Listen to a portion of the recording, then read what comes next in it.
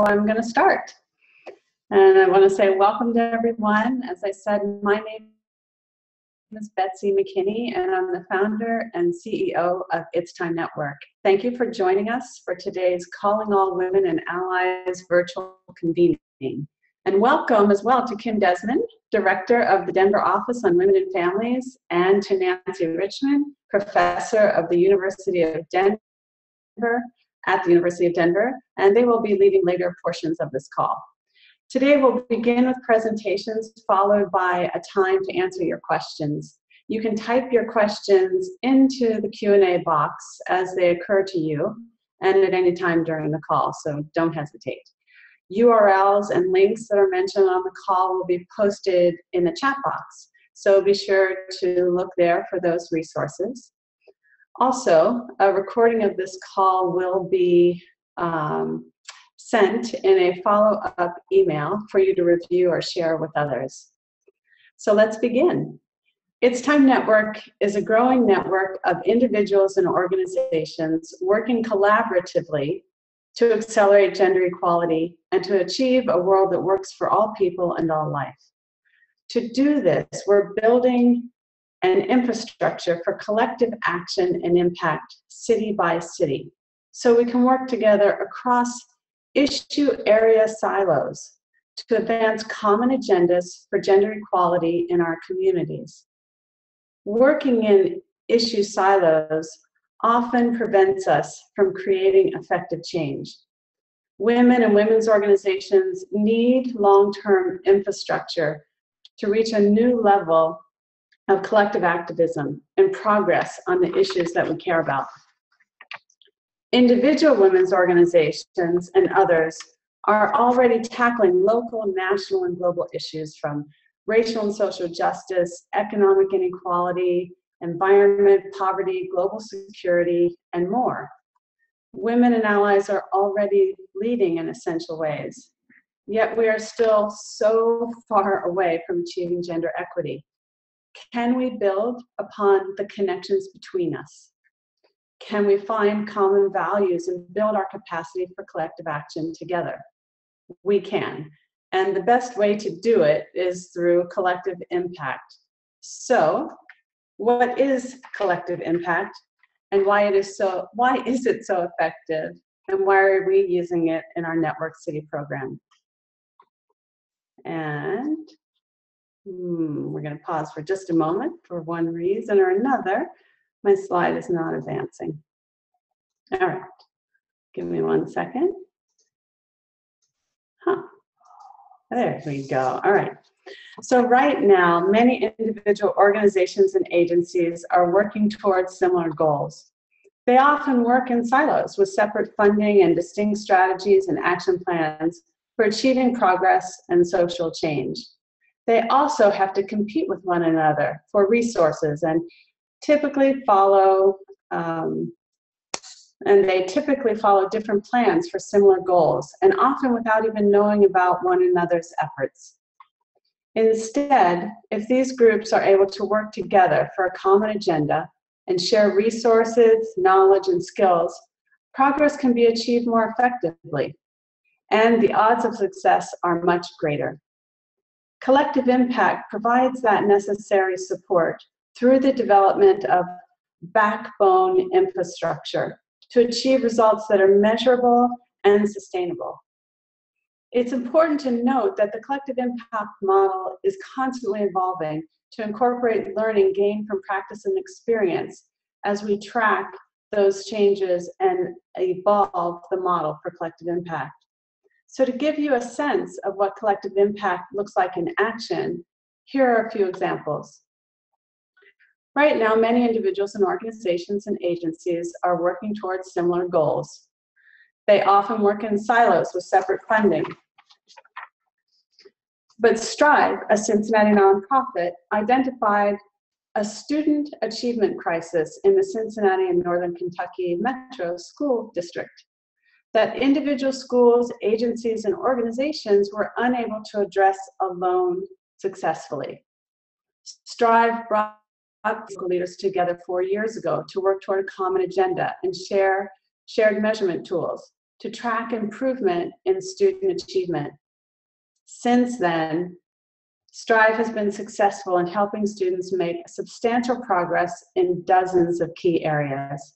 They're also able to track and measure that progress from year to year so they can continue to evaluate and improve their plans based on data. Another example is Shape Up Somerville, a citywide collective impact campaign to reduce, reduce obesity and promote health in the city of Somerville, Massachusetts.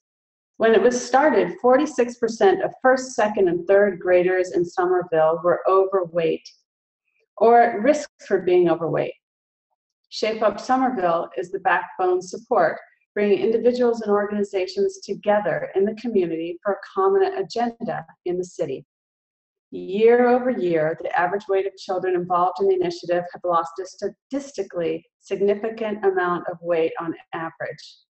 To learn more about the collective impact, impact model, click through the link in the chat box to learn more.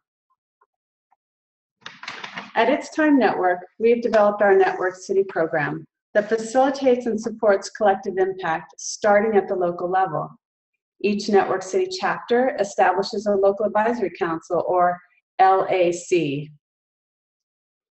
made up of diverse women leaders from across all sectors in each city. The LAC starts by assessing the status of women and girls in their area, begins to grow the network locally by inviting individuals and organizations to participate, and then creates collective impact projects with member organizations to address the most pressing needs. The LAC continues to grow the network, inviting more individuals and organizations in their city so that more and more and more of us are informed and engaged. The more individuals and organizations that support this collective action, the more effective we can facilitate progress. We're currently piloting the program in San Francisco and Denver, and we're ready to take it to scale in 2018. We'll share more about the two pilot cities in a moment, but first we need to talk about one of the key elements of the collective impact model, a common agenda. One of the most important elements of the collective impact model is building a common agenda. While different groups are working towards a similar goal, they may define the challenges slightly differently or have different priorities for addressing those challenges. With a collective impact approach, it's important to agree upon a shared mission, a shared definition of the challenge, and commit to a set of strategies or action steps. On our last call, we talked about our first pilot city in San Francisco that is supporting the Stronger California legislative package that is, in effect, a common agenda for the whole state of California that organizations can work in support of. But in our second network chapter in Denver, there is an inspiring level of women's leadership and a long history of advancing gender equity, and we'll be talking about that today. Though there have been promising advancements for the rights of women and girls in Colorado over the past several years, there still is a great deal of work to be done to leverage that work from the past and to strengthen it going forward. For example, at almost every educational level, women in Colorado earn less than men who have lower educational qualifications than the woman. In Colorado, more than one third of households headed by single mothers with children under 18 live in poverty. The Denver chapter will officially launch at its time 2017, the Denver Gender Equity Summit on May 31st. Its Time Network is hosting this summit in partnership with the Denver Office on Women and Families and the Women's Commission, who do amazing work for women and girls in the Denver area. The summit will bring together thought leaders, decision makers, and engaged individuals to develop a common agenda to address systemic inequity in Denver and to increase economic security for women. Kim Desmond, director of the Denver Office on Women and Families, will share about their important work and how the summit will help us build a common agenda in Denver. So Kim, I'll leave it to you now. I'm going to stop share and you can uh, put up your presentation and take it from here. Then I know Kim that you, there we go. Have you got it? Thank you, Betsy, for the introduction. I'm going to go ahead and share my screen.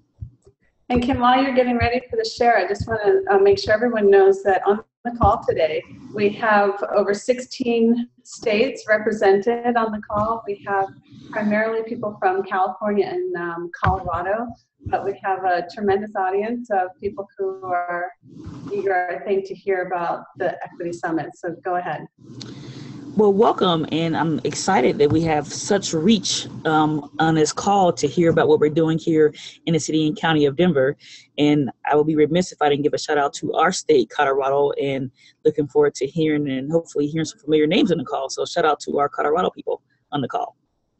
So, we're going to really dig into what this work looks like on a local level in partnership with stakeholders across the city. So, talking about how we collectively impact women and girls in our city and how we're using the summit as a jumping off point to help leverage our work and provide our mayor recommendations around actionable things to do in our city. So, you all can see my screen, I, I assume. Am I correct? Perfect. Okay, let's get started. So as Betsy stated, and I, I will be again remiss to say, um, this partnership with It's Time Network has allowed us to to produce a summit at this scale. So definitely grateful and thankful for the technical assistance and the staff at It's Time to give us this platform, but also to partner to put this summit into fruition and you will be joined later on by my colleague Nancy. She's also one of my commissioners. I say colleague, all things get things done. So she's going to dig in and share her brilliance around how we're using data to inform this conversation. So what we're going to touch on during this presentation, we're going to talk about why we should partner to collectively impact women and girls. We're going to talk about the ways in which we approach this work and to really solicit cross-sector participation which includes local government, for profit, nonprofit, business sector. The summit has actually literally been a um, labor of love in that we were able to get a lot of involvement from around our state, not just our region. So we're going to talk about how that worked out for us. And then last but not least, we're going to share a little bit with you about our summit. Um, and I'll just say this, we did zero social media marketing for this summit. And at this juncture, we are full to capacity. We'll have about we will have 440 attendees in the space, all talking about gender equity and inclusion in one space. So let's jump in. So while planning this summit, one of the questions that we got, and one reason why we framed the summit the way that we did, we wanted to set the stage and say the work that we do is intersectional. So first and foremost, not only is it intersectional through the lens of race, ethnicity, gender, gender identity, national origin, um, your your status as a person who identify be living with a disability, but also the intersections to structures. So literally, that's how we set the foundation for this summit. Is to say that these systems impact um, women within their communities, women within their workplace, their settings. So these are the external forces that really can change the way in which a woman is able to secure and reach economic self-sufficiency. So that was the way in which we approached our work with our partners.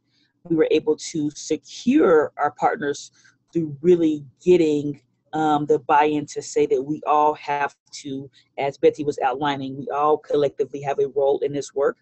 So our approach was to work with our Metro Mayors Caucus, which is comprised of 41 mayors across the metro region. So we started there to say, from a local government perspective, we wanted our elected officials to be a part of this conversation. But we also wanted to pair um, our elected officials with key stakeholders in our city from the business sector. Um, we have the Women's Foundation of Colorado who's supporting the summit. So really this cross-sector approach to say we are all doing different things and how do we work together to ensure that we can share some key practices, but also that we can learn from each other and put forth some tangible ideas. So this slide really just shows how interconnected our work is and how we are able to leverage what we're doing individually. In order to really um, leverage and work through the collective impact, kind of some of the language, we had to approach this partnership and we had to really outline the benefits for those partners. So for example, to get participation from, we have probably close to uh, between 11 and 15 mayors across our um, region who will be supporting the summit. So much so that some mayors didn't even want to be on a panel. They elected to be in the audience because they wanted to make sure they were taking in all of the rich information coming from our key stakeholders in our community. So outlining the benefits included the constituents that they serve. So we had to outline the business case for equity and inclusion to our mayors. We not only did we talk about the, the feel good stuff, but we also talked about how this can be quantified and what it means to have a representative workforce. So really getting our mayors aboard was really just outlining the benefits to those individuals as well as our key businesses in our city. And not only did we outline the business case, and Nancy's going to talk more through the data pieces of that, but we really just let them know that we want to approach this work together and collectively. An important part of this summit really um, relied on the backbone support of the agency that I work for. It's the Agency for Human Rights and Community Partnerships. We are a local government agency and we do work around social justice and human rights. And it's critical to have a key person or an office who's able to move the, the work along and really help foster relationships to get people in the same space to talk about that.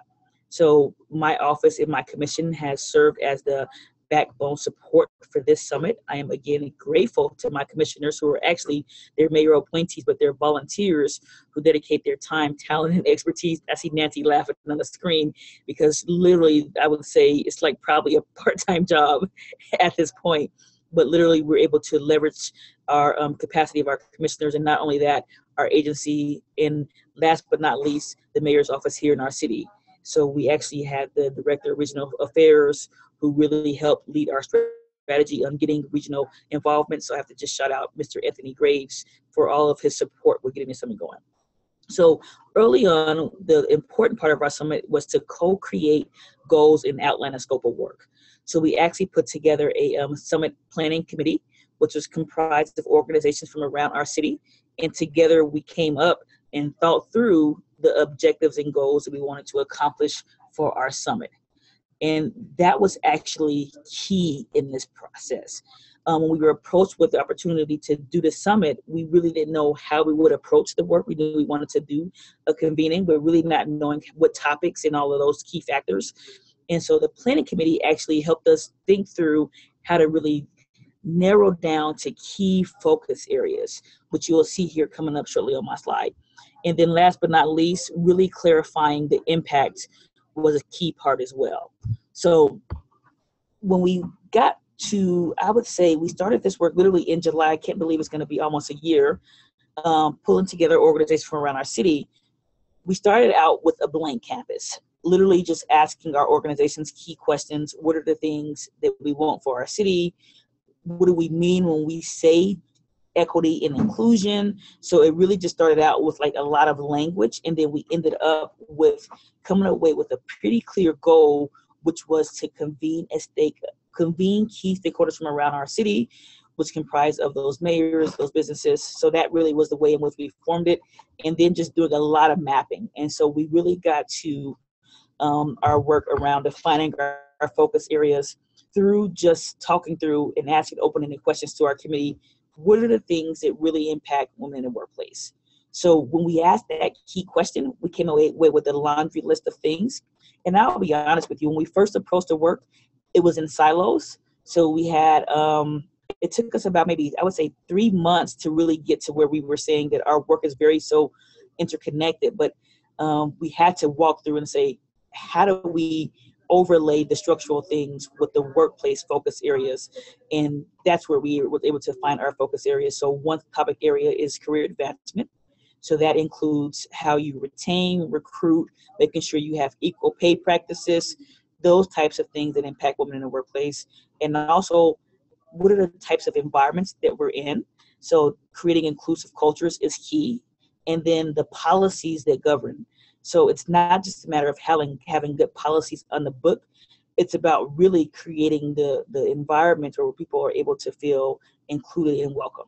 And when I say people, it's unpacking that term. So we say women through an intersectional lens. So we're talking about women of color, um, women um, from various national origins, um, gender identity. We're covering the whole spectrum when we reference um, gender in our work. So that's the way in which we were able to get to this piece and then overlay those societal things that impact. And then we said we wanted to be so ambitious that we want to have some tools for advancing equity and inclusion. That may be another conference call, Betsy, that we can talk through some tools where you're able to walk away with a key way to do some action planning around selecting one of these topics. So the Women's Commission, we've created a guide, Denver Thrives When Women Thrive.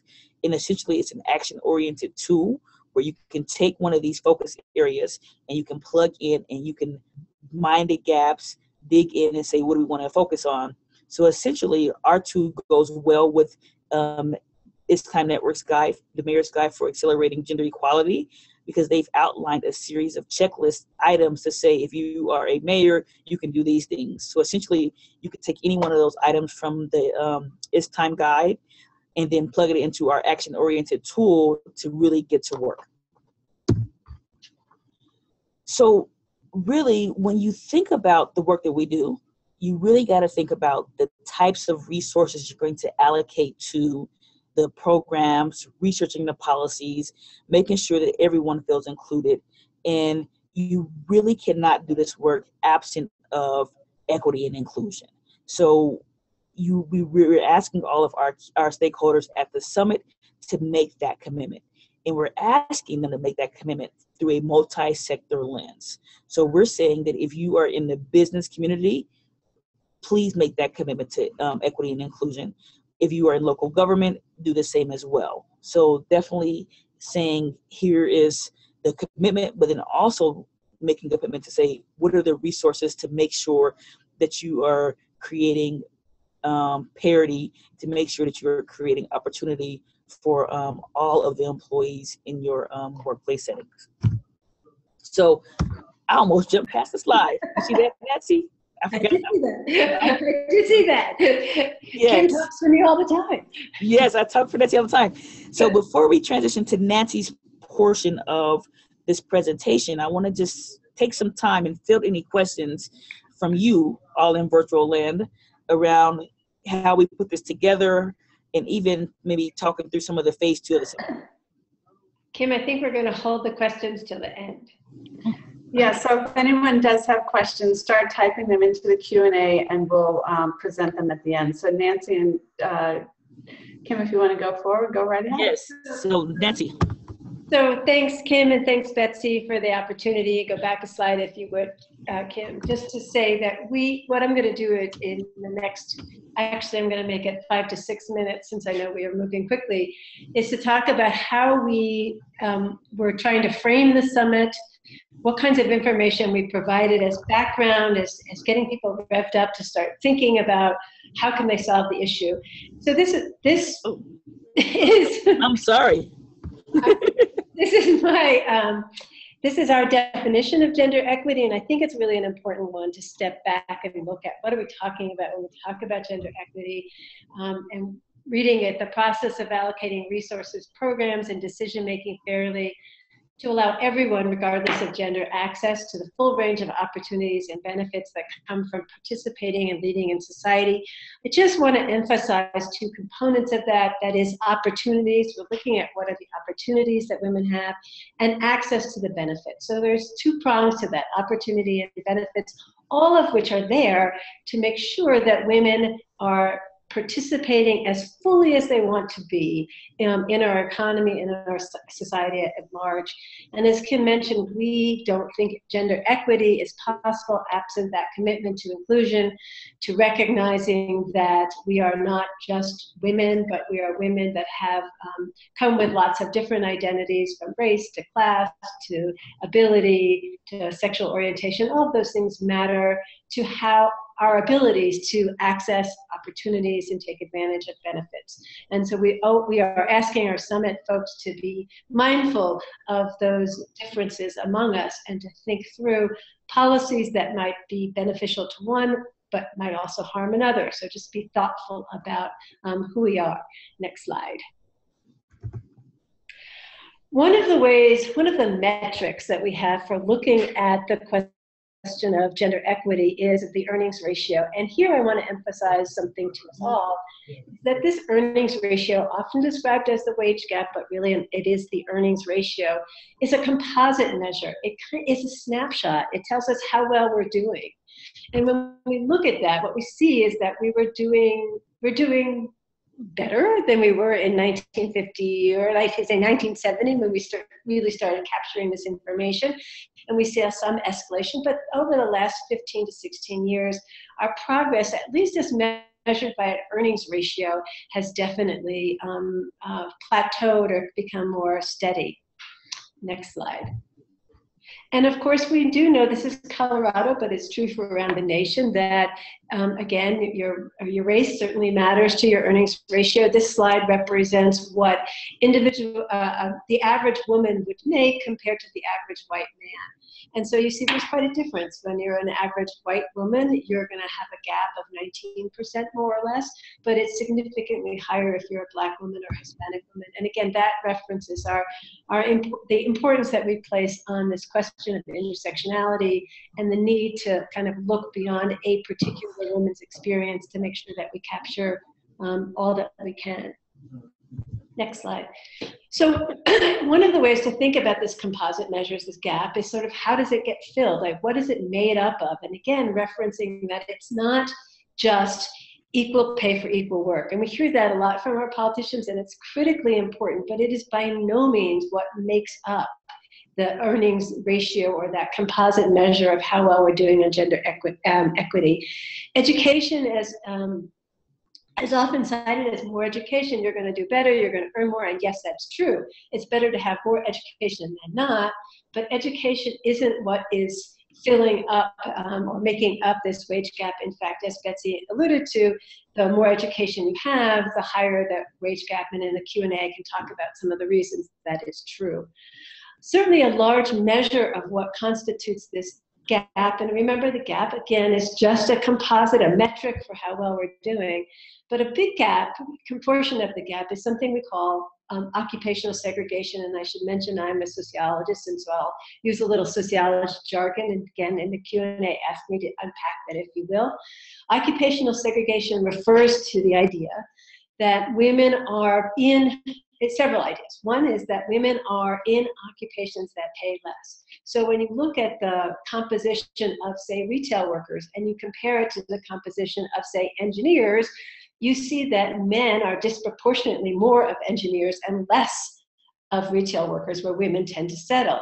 There's a vast difference between the earnings capacity of the retail worker and the engineer. So some of that gap is explained by the fact that women and men work in different occupations even within the same occupation, say you're a doctor or an or an educationist, a person in, in education, there are what we call um, within those job occupations differences, so that women might be more likely to be early childhood educators than, let's say, high school math teachers.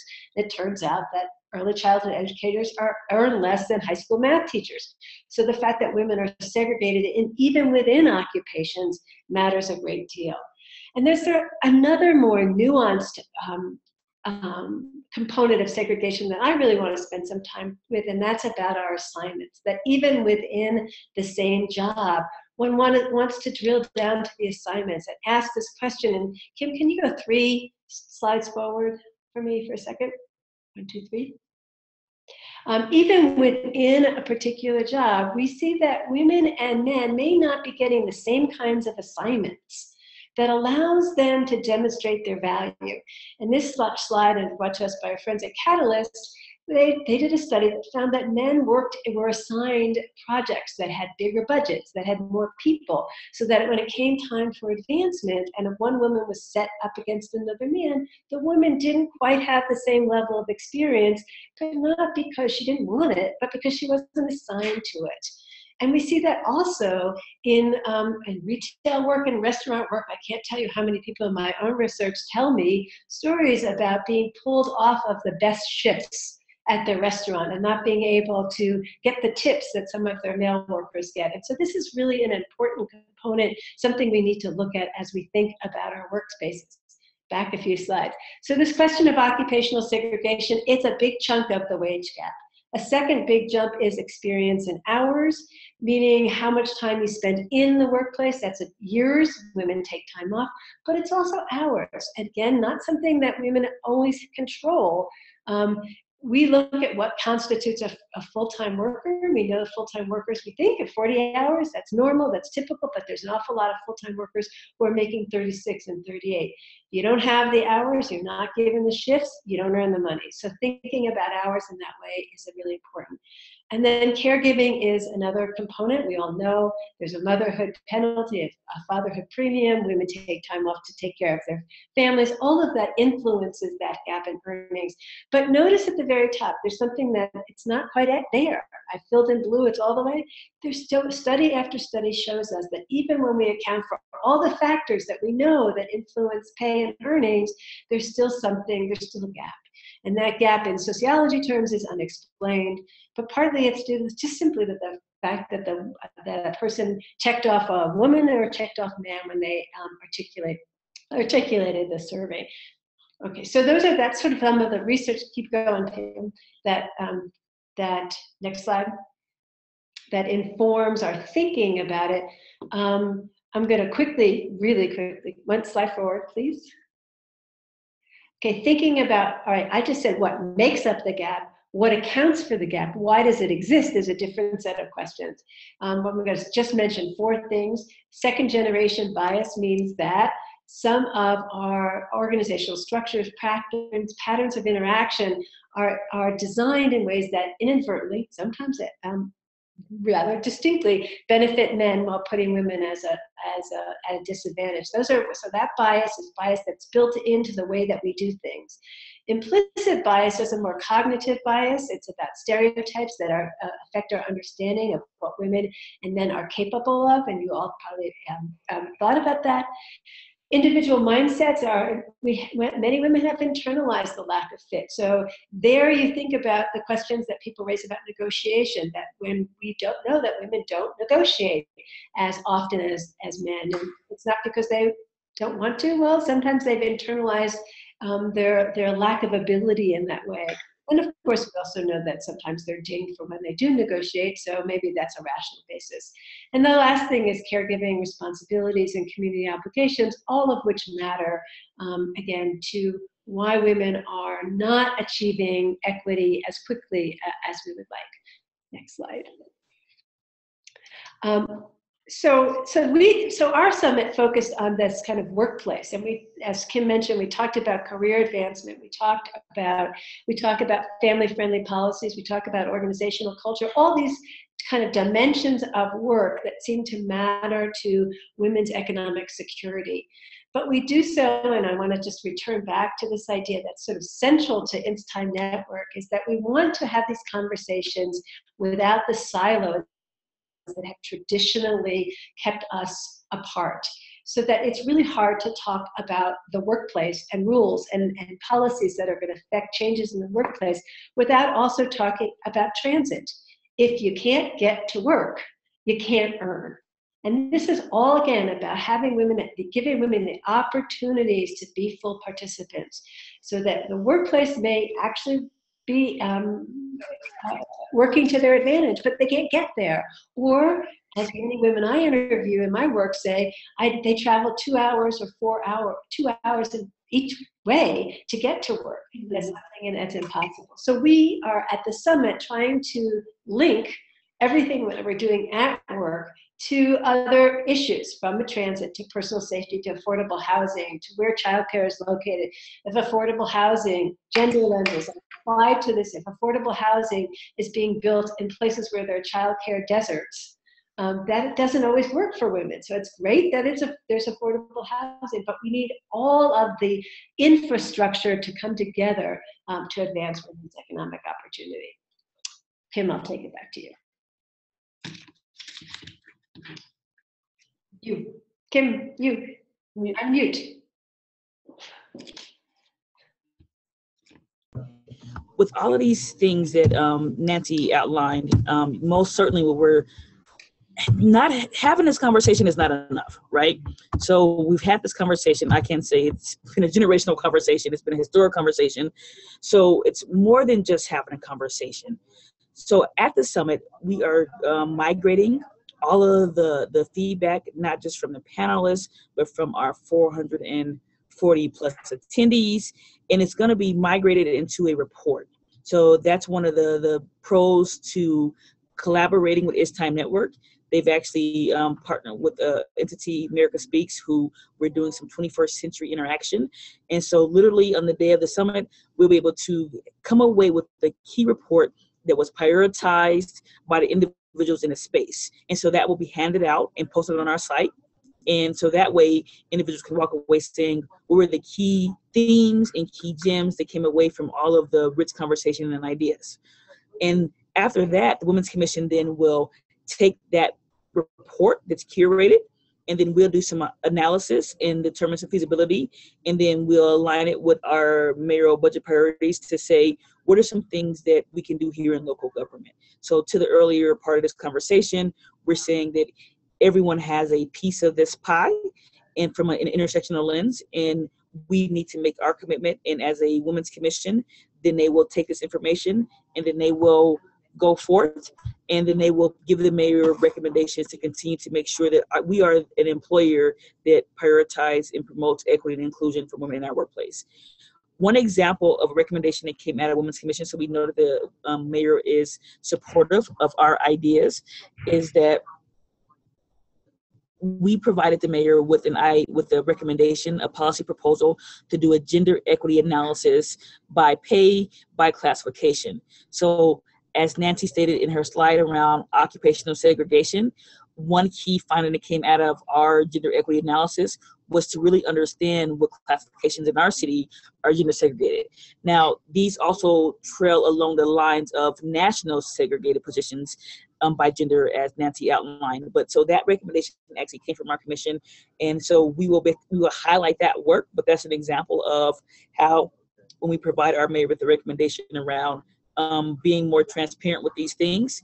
Um, he has responded, so we will do the same with this summit. We will prioritize and probably come up with another list of. Nancy's laughing because he, she know we will another list of about um, who knows how many.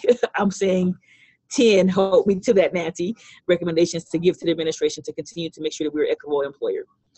Not only that, phase two of the summit also is for us to continue to build cross sector partnerships within workplace settings across our region.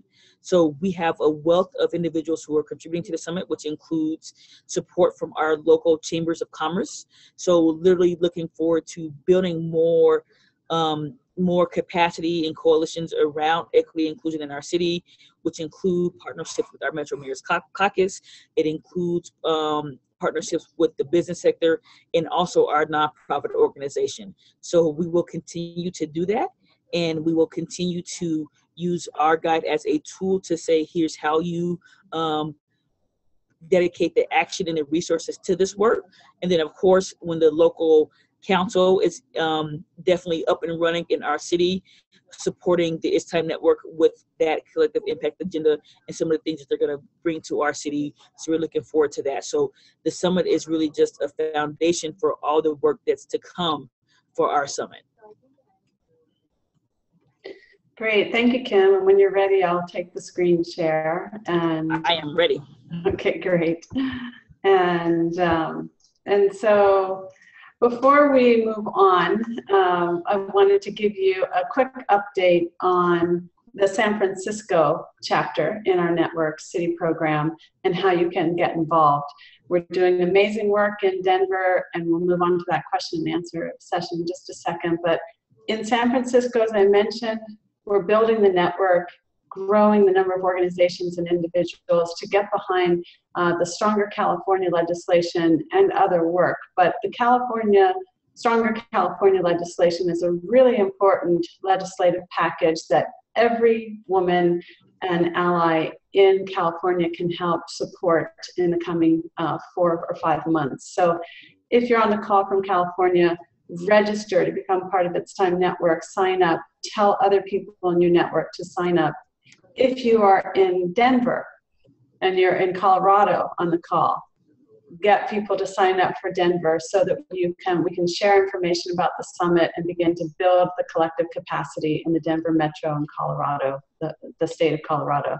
So um, join the network and also um, we, as more cities become part of the network, our capacity for collective action begins to scale from the city level to the state to the national and beyond. So for those of you who are not in California or Colorado, so glad you're on the call. It's essential that you begin to tell people in your city, in your state. We have more than 25 cities already that want to come online in the next 2018 cohort of network cities chapters. And so you can imagine what might happen in your city, in your town, if we were able to do a summit and to begin to convene local organizations to assess the status of women and girls and develop common agendas.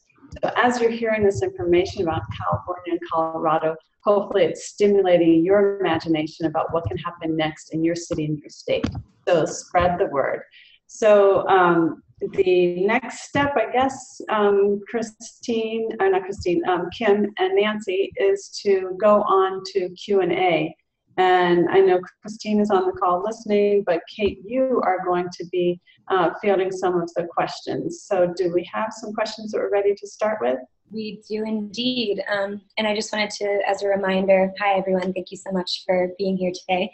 Um, as a reminder, I know we've shared this a couple of times, but uh, if you have any questions at this point, feel free to, you can either type your questions into the Q&A box and we'll answer them uh, out loud, or you can raise your hand and we can bring you on via video or over the phone if you're if you're dialing in. So feel free to ask questions either way. Um, we do have a, a, few questions ready now, so uh, we'll get started. So the first one is, um, and I'm going to direct this towards Betsy, just because I know that we've had this conversation many times, and I, although I know Kim or Nancy could answer this as well, but why do we say gender equity instead of gender equality?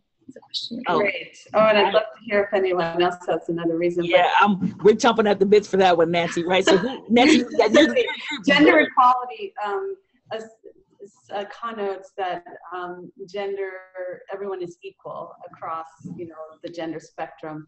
Um, and some people disagree. Some people think that men and women are not equal and that anyone um, described as problematic.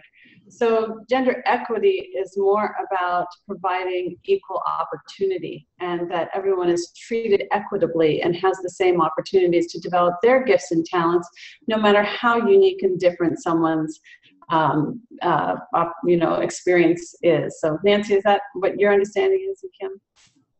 Um, I, I just add in that it, it, it really speaks to this question of equal opportunity, but mostly and, and importantly, fair opportunity. That is, that we want to make sure that opportunities are fairly distributed um, in ways that um, allow everyone to participate in the way that they want to and I think, and it's to their capacity. So I think that's why we, we really reference this idea of equity. It's not all about equality. And if you thought about the same equal pay for equal work is a kind of equality framework, and that's really important, and we really probably won't get equity unless we have equal pay for equal work, but it's so much more. So it's really to open up our understanding of what it means with the end goal, right, is for our participation are full participants in the economy and society as a whole. That's what we want.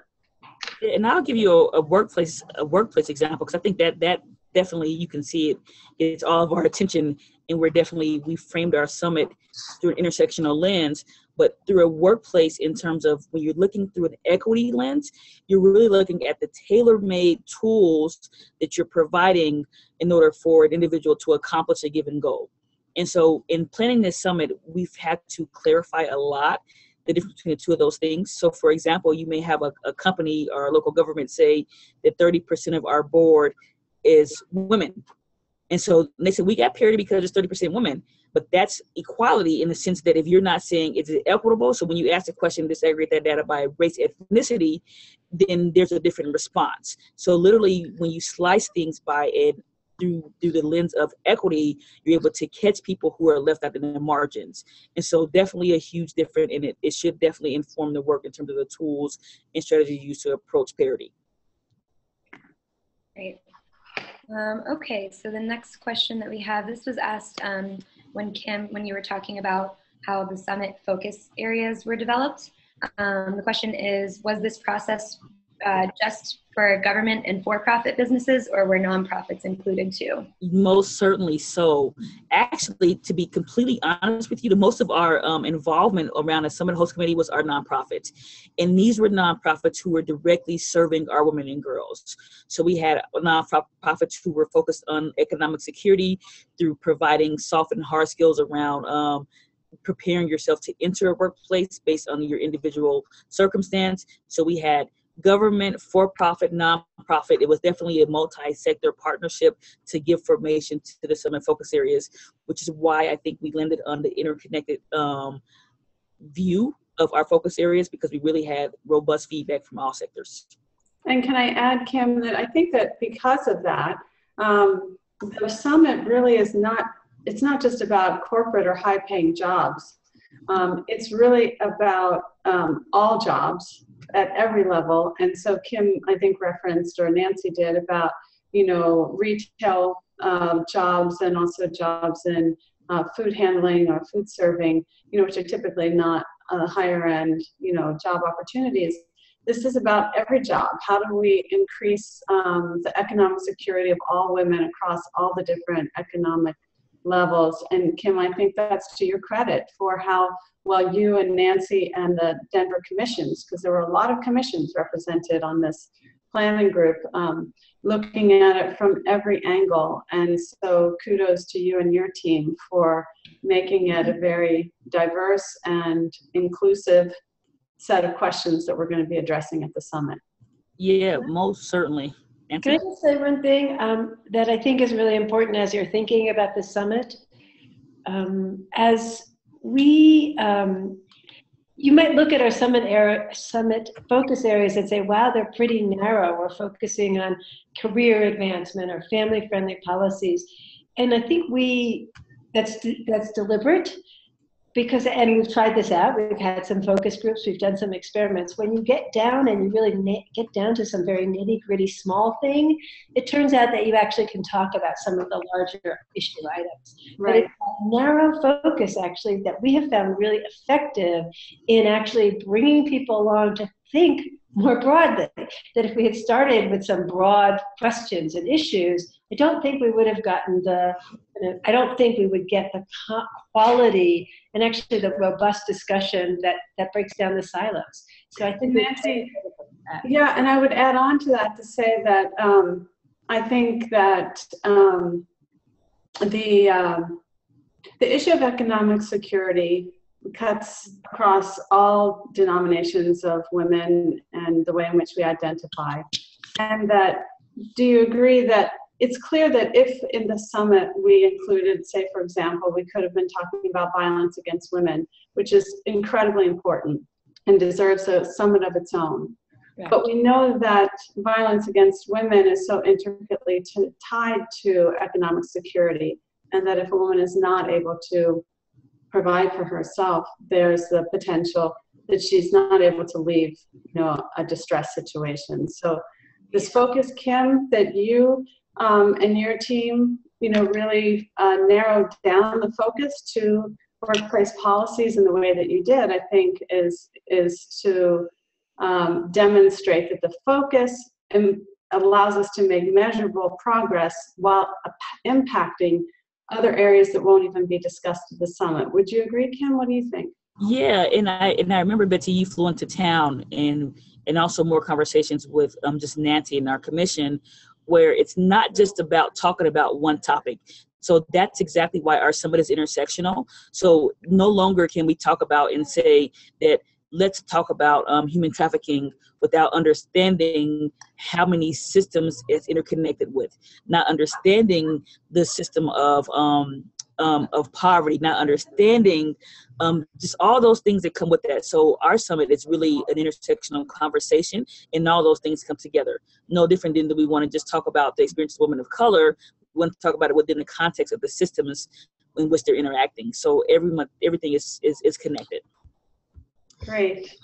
Kate, is it okay? I'd like to see if Kim might um, say for just a moment, Kim, you know, when we first started preparing for the summit, it was based on your experience, you know, in Denver and your inspiration from what happened in, I think it was 1985. Would it be good, you think, to tell that story just briefly and why you were passionate about doing this convening?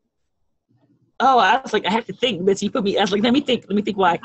So I, I yes, I most certainly will share that. But before that, I want. I will be remiss as a woman of color to not um, share a comment that popped up on the screen. So I, I did see a comment around um, women of color feeling blocked out of the conversation by older white women. So I, I, I need to address that on this call. And excuse me, then Betsy, I will get to your response. And most certainly, that's definitely why we should lead through an intersectional lens because I'll be honest with you, my personal experience as a black woman, um, definitely sometimes we are left out of the conversation. And that's why you should lead through the lens of intersection. So that way you're able to bring in various perspectives. And the reality of it is, is that still happens in our work as we approach feminism. So really just really moving towards that womanist perspective and to say that we are having an intersectional conversation. So I appreciate the comment and some of your frustrations with that. So thank you for answering that. And to Betsy's question around why why like being receptive and really um, wanting to partner and then really pitching the idea to the commission. When i started this agency which is the human rights agency it's been around since 1947 the women's commission actually was codified and added to the agency ordinance, ordinance in 1985 and when i started the position um, i was able to look at all the archival documents and it was a single convening that led to the formation of the commission it was comprised of 300 leaders across our city who gave our then Mayor Pena the recommendation to formulate a women's commission to help support economic security for women. So since I've been in this position, I was like, oh man, we have to do another committee. We have to do one, but not sure how it would look, not sure when. And so when the opportunity came out, I was like, wow, it's, it's like the stars just aligned. And then of course my commissioners, we all felt as if it was a good thing for our city. Great. And I think is it accurate to say that we have approximately 20 metro mayors who are going to be involved in the summit in one way or another. And um, can you speak to that briefly? Yeah, so we have confirmed attendees. Um, we're, hovering at 11 mayors who are confirmed. However, um, we do have, if the mayors couldn't come, they may have also our city is uh, uh, is it, some some parts of our cities and towns it may be strong um, city council pool strong manager pool. So we also have managers across our state who are attending. So we definitely have had a lot of reception from our metro mayors caucus who are either on the panel or in the audience. And we also did this cool video vignette project. So we have mayors who they are not attending they may have did a video to get their presence in the space to say I am committed to equity and inclusion. And as telling Betsy earlier, is we used a tagline and like we had our key video vignette individuals say it's time because of and they filled in the blank so definitely um, feeling the support from all the different sectors and I'll, I'll just Betsy, I want to just make one more comment to the, add to what Kim said in referencing to the call to the question or the comment that came in about making sure that this is not a conversation that is just among older white women. And I think it's a great comment. Um, and I, I think we were, were as deliberate as we could possibly be um, to ensure that, the, that we had a diverse set of attendees at the summit. Um, it is a challenge, and I think this is something for going forward, is how do you create the most, say everybody's invited, and yet make, wanting to ensure that when you get inside the room, that you represent the diversity of your city. And um, credit to Kim and all those people who worked very hard on, I think Patricia was very helpful to that from It's Time Network, of really helping us sort of manage the folks who wanted to, to participate in a way that allows us to get the diversity of voices that are absolutely necessary.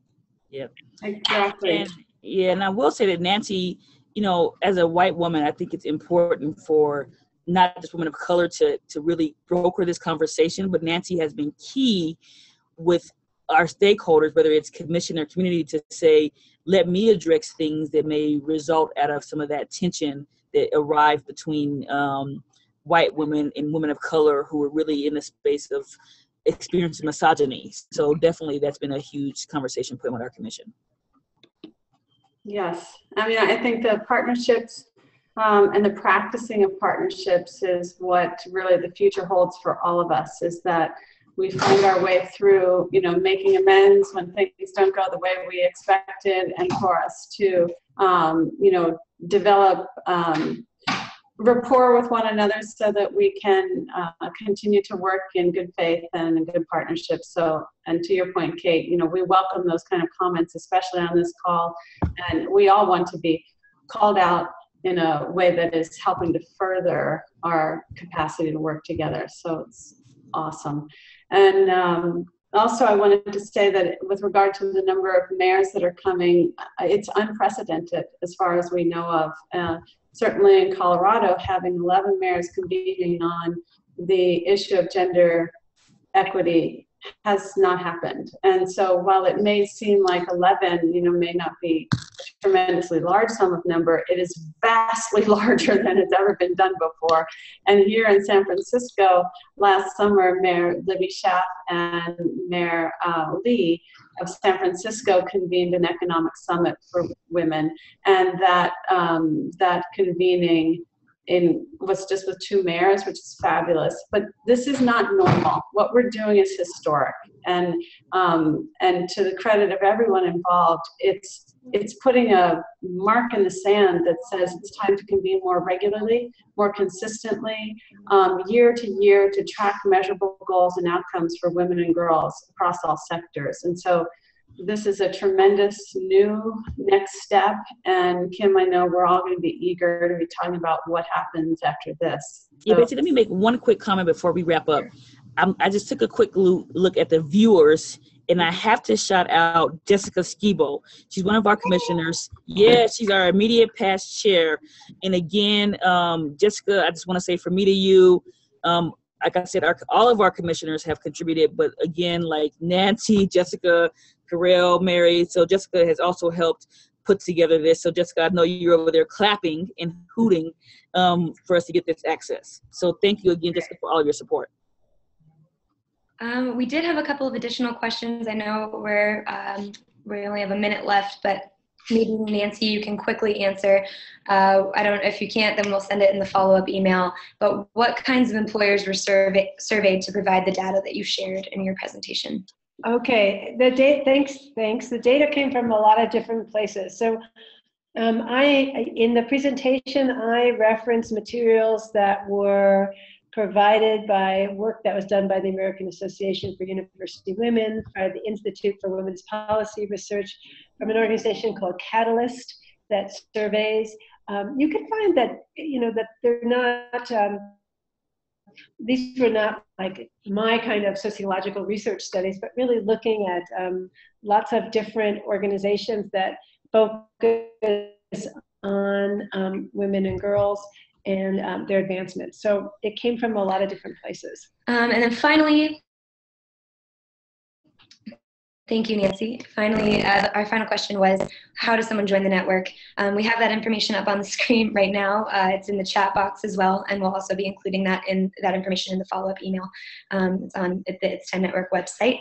Um, and I think that covers it. As, as we mentioned before, we'll be sending the recording of this call to um, all participants and registrants um, who weren't able to make it today so that you can view it later um, as well as an invitation to join the Calling All Women and Allies Facebook group. So you can feel free to continue these conversations there. Um, and uh, yep, we, we, have, we have another call coming on June 6th at the same time, uh, noon Pacific Time. 1 p.m. Mountain Time and 3 p.m. East Coast Time. So mark your calendars for that one and please visit the website to register for that upcoming call as well. Oh, and I'm sorry. Hello, Senator Angela Williams. I see. I just see the comment come through. Hello. Great. Yay.